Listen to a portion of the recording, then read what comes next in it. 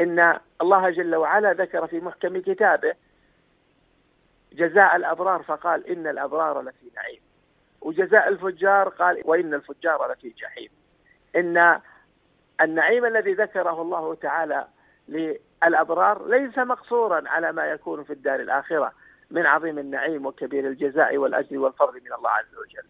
بل يكون في الآخرة على وجه خالص على وجه لا يلتبس على وجه بين ظاهر لكنه يكون أيضا في الدنيا لاولياء الله عز وجل بما يذوقونه ويتنعمون به من ثمار الطاعة.